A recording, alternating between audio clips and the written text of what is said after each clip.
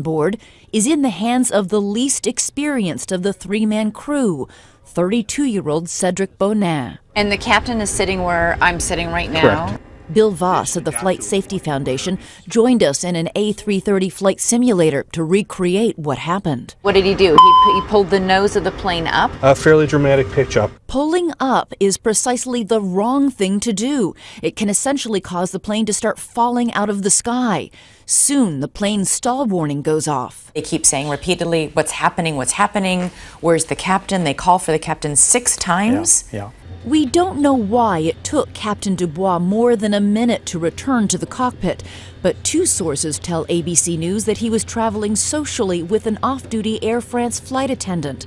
Were the two together? If the pilot is distracted because he's traveling with somebody, potentially, isn't that part of the investigation? I don't think uh, it could be an explanation of an accident.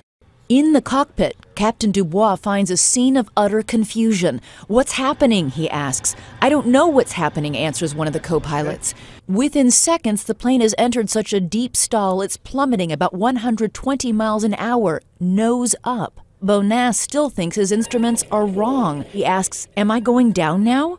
Confusion has turned into chaos, with both co pilots now trying to fly the plane in opposite directions. A point of exas- exasperation where you actually have a bit of the discipline breaks down. And then finally, literally three seconds before impact, we hear Robert, pilot Robert, say, Oh my God, we're going to crash. I can't believe it.